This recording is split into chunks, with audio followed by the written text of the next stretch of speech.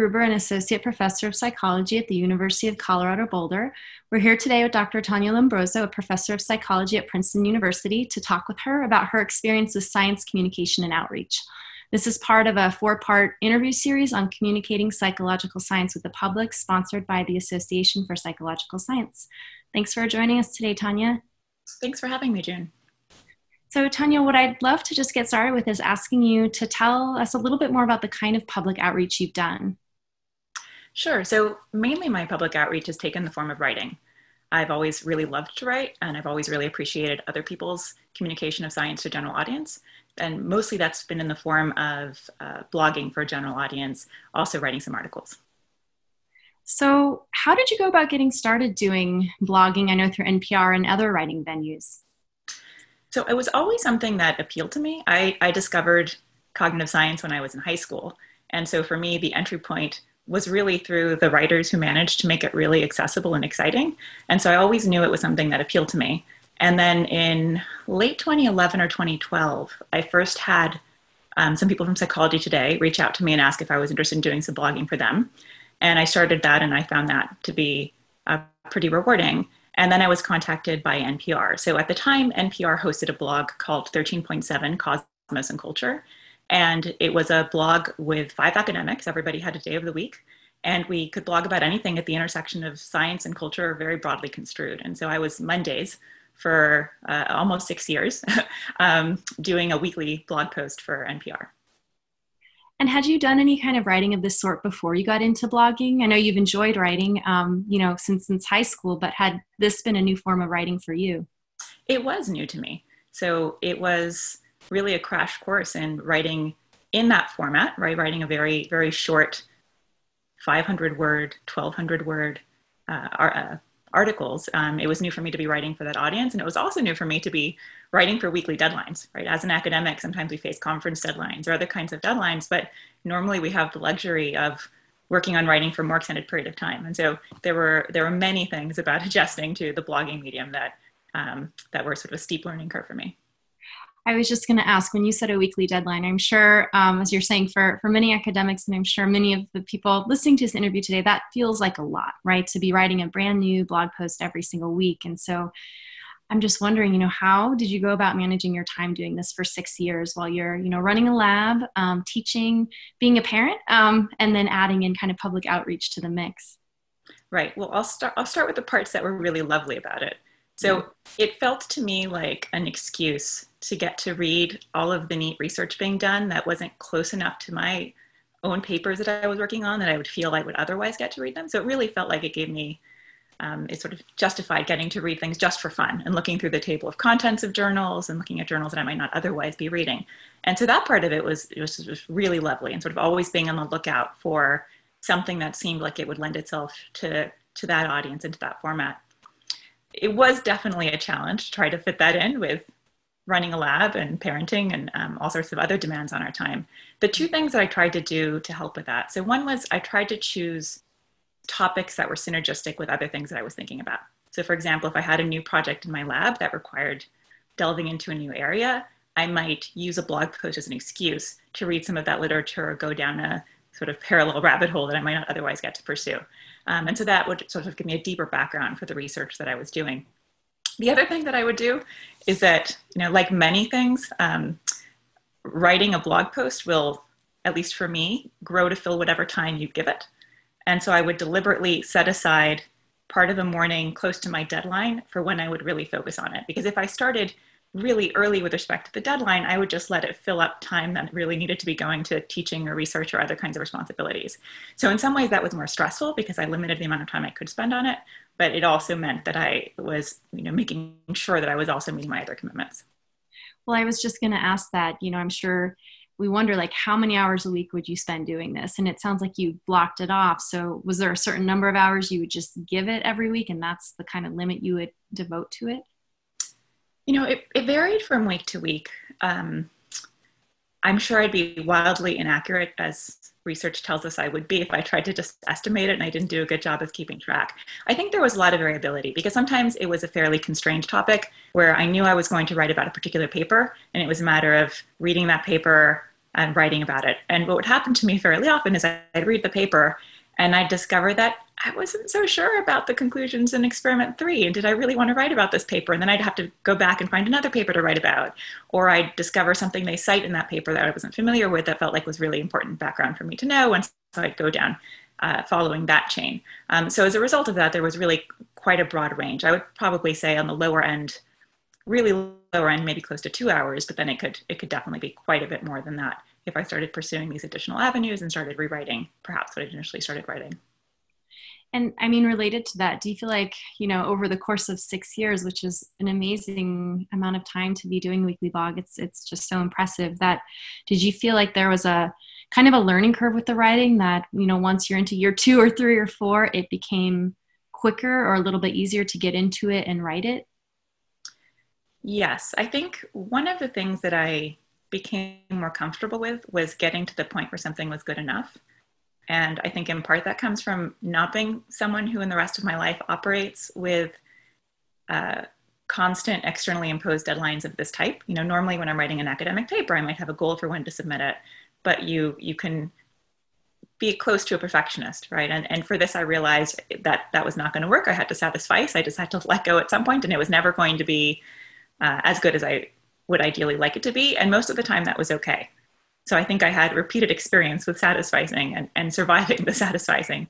Um, I think I did become more efficient with writing. And one of the things that I think is actually really nice about writing a blog post as opposed to other kinds of formats is that it's short enough that if I wrote something and in the course of writing it changed the way that I was thinking about it or, or came up with what would be a better way to introduce the topic, I could start from scratch. And that didn't feel um, uh, like an unrealistic proposition close to a deadline. Whereas, you know, for something like a book chapter or a book, you don't just have the luxury of casually deciding to to start from scratch. How long, on average, are um, you know the blog posts that you would submit? I think that? the typical range was about 500 words on the shorter side to about 1,200 words on the longer side, and there were definitely exceptions, probably more exceptions on the longer side than the shorter side. Um, but we did we did aim to be succinct. Yeah. And I imagine, you know, in thinking about, you know, some of the kind of frustrations and successes, I'd love to hear your thoughts on both, but I mean, you're speaking to a few things that make me think almost of like successes for other parts of your life as an academic in person, learning to let go, brevity in writing, which is a real challenge. Um, um, yeah, I mean, are those the kind of key successes that stand out to you in, in this enterprise? I think, in terms of the successes that translated to my other aspects of my job. One, I think, is I, I knew abstractly that it's very important to illustrate things with concrete examples and that you want your academic writing to be accessible. But I think having the experience of constantly trying to translate things for a general audience um, made me appreciate how important that is, and then sometimes made me do that better in my academic writing. I mean, certainly I can think of more cases of frustrations, as you put it, than of successes. Um, I mean, I think one thing that was sometimes challenging was dealing with journalism norms that differ from academic norms. So in, in, in science, we're always very careful to attribute ideas to who came up with them and to have complete references and indicate where everything comes from. And I sort of felt like I had to sneak that in to this journalistic uh, form. You know, you can't put in references the typical way, so it would have to be in the form of hyperlinks, right? So you'd, if there was an empirical claim, there'd be a link there that would link to the evidence supporting it, but you couldn't have, you know, parentheses and here's the five references that you should recognize for this. And I found that a little bit disorienting. Um, another thing I found disorienting was that typically the headlines are not something that's written by a blogger or by um, a, a writer if you're dealing with an edited publication. And so most of the time, I, I didn't have any problem with the headlines that were chosen. Occasionally, I felt like they pulled out the wrong message. They were may not have been strictly inaccurate, but were misleading. And, and a couple times I did contest something about the headline and had them change it. So, one that I remember like that was that I wrote something that involved primates in the title, referring to humans. And that got changed into primates in quotes, as if we're not really primates and and that that I thought was problematic. And so I said, no, no, no, we're, we're really primates. We have to take out the quotes. um, so there were a few places where there was some sort of back and forth. Um, but overall, I had actually really terrific editors at NPR and really enjoyed working with them. Would you ever suggest titles, or did you usually just leave that blank and they come up with it on their own after reading what you had written? I did typically suggest something. I would say it was maybe used without modification, maybe 40% of the time. I think often there was something that was an element of what I suggested that then got adjusted. And sometimes it was something that was completely unrelated to what I had suggested. Yeah, I think that's something that many, I think people in our field aren't aware of, of like having uh, to let go of the power over your titles mm-hmm. since we give so much time and effort to it in our academic writing. That's right. And, and often associated text, right? So sometimes they'll pull out a couple of sentences to be below a headline or to be the teaser that leads to the article. And again, I would typically suggest something, but that wasn't always what ultimately ended up uh, being shared on the NPR website. So, I mean, looking back at, at your former self, I know you mentioned you had started a blog in psychology today and then through NPR. Um, is there anything that you wish your past self knew at that time when you first got started um, that you sort of learned through lived experience? I think one thing I would say to my past self and to people thinking about writing is not to wait for somebody to come to you. So this was I was interested in writing for general audience, and I did happen to have somebody come to me and, and offer this opportunity to blog. Um, but I think it makes sense to be sort of proactive rather than reactive about how one approaches this and to think about what kinds of venues one, one might want to write for and what kind of forum and to go out seek that out rather than expect it to come to you. I think I would also encourage my past self to maybe think about additional potential synergies between writing for general audience and other aspects of my job like teaching. So, for example, um, I'm thinking right now about teaching Introduction to Cognitive Psychology this fall. And I might be able to pull a couple of my blog posts to accompany uh, chapters of the textbook and so on. But I think, had I thought more carefully about the body of work that I was accumulating and the tens of thousands of words that I was writing, I might have been able to think about how to structure that in a way that might form a product at the end of the day that could also be used in other ways more successfully. So uh, that's really interesting, like thinking about how to merge these identities of like your academic self and your kind of public outreach self. Uh, and this is just a question that I was thinking about as you were talking. I mean, to what extent do you feel like those identities are really different parts of you know how you've lived your professional life and you know are there not as many opportunities to merge them as you hoped or do you feel like it's really something you're doing on the side like how much does it integrate versus feel separate to you i think it feels reasonably integrated for me um, my sense is that the norms in the discipline have changed where there used to be a kind of distrust towards public outreach or a sense in which people would not consider that to be an academic contribution of the type that we typically recognize for things like promotion and tenure and so on. Um, and, and, I think the field is changing. Um, certainly, I would encourage it to change and to consider it one of many ways to be involved in teaching and service. I think it's a really important kind of teaching and service. So, in that way, I think I regard it as part of my job and part of my professional identity.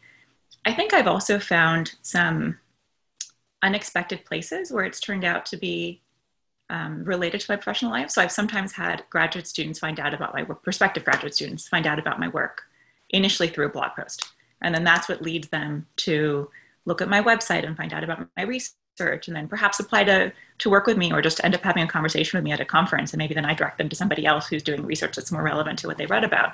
Um, but I think just um, kind of being on the other end of the interaction that, that I was in when I first got into the field reading people and sort of now being in the position of being able to hopefully get some people enthusiastic about psychology and cognitive science is, is really satisfying. And I think it's the sort of thing that we try to do in successful courses and in successful outreach of other kinds too.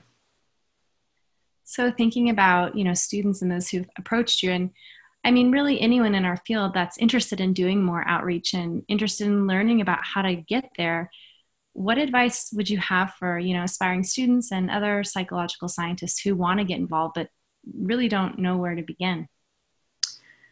I think one thing i would say is to think about where there's the potential to make a unique contribution. So one thing that i would sometimes ask myself in deciding what topic to pursue for a blog post is you know, is there a reason that I'm the person writing this? Because there are a lot, there are lots of excellent science journalists. There are many people doing a good job communicating different aspects of science. So, what is it that I uniquely can bring to this? Is it that I have particular expertise in a topic? Is it that I can do a good job giving some insight into the process by which science works and that I can do that at the same time as saying something about these findings. So I think that's something people can ask themselves, right? So, so what is it that they can maybe uniquely contribute? I think is an important question. The other thing that I'd say is to maybe give some thought to what kinds of engagement you want to pursue. And in particular, what I have in mind is not just what kind of writing or in what venue, but what do you want your public profile to be? So I was told when I started blogging that I had to have a Twitter account. I didn't previously have one, so I started a Twitter account. Um, and as I'm sure is well known to everyone, there's all sorts of ways that you can choose to be or not to be involved in social media.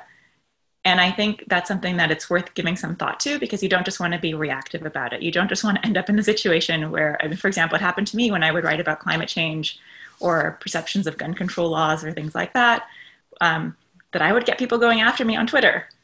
And um, I think it's worth thinking about how do you want to spend an hour a day engaging with people on Twitter or other kinds of social media platforms, or is that not a way that you want to spend your time? How will you deal with people going after you if you happen to hit on a topic that that uh, provokes that kind of response?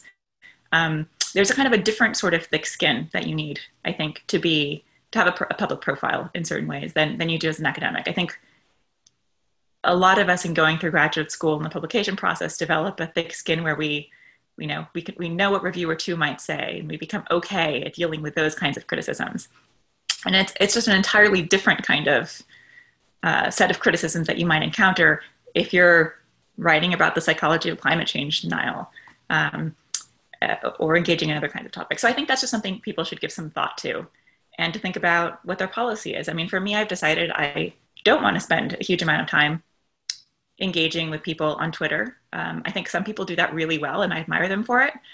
I don't right now feel like that's how I want to spend my time, or that I would be um, doing it that effectively. And so I've just decided I'm not going. to I'm going to do a minimal level of that. But I, I think you know there's there's just something for people to think about in advance because otherwise you can just get dragged into it. Right, as you're saying, it can become a kind of important other part of your your life and time and interaction, and to essentially choose wisely how you spend your time. Mm-hmm. Right. I mean, I think a point that's worth saying, if it's familiar and perhaps obvious one, is that there's there's clearly an opportunity cost to spend your time doing this rather than something else, right? So I think another thing that I would encourage people to think about is not to ask yourself, should I engage in this form of public engagement or not, as a yes or no question. But if I'm doing this and dedicating time to doing this well, what is it I'm not doing, right? What am I willing to give up in terms of the way I'm investing my time in order to make room for this? And I'm really glad that many people do see value in writing for a general audience and public outreach. I think it's incredibly important. But I also think there are many ways to contribute, and that's not the way that makes sense for everybody to contribute. Um, so there's lots of other things people could be doing as well. Great. Anything else you'd like to share about public outreach today? Um, thank you for engaging in this form of public outreach to the psychological community. Great. It's been fun talking to you, June. Yeah, thank you so much, Tania, for speaking with us today. Really appreciate it.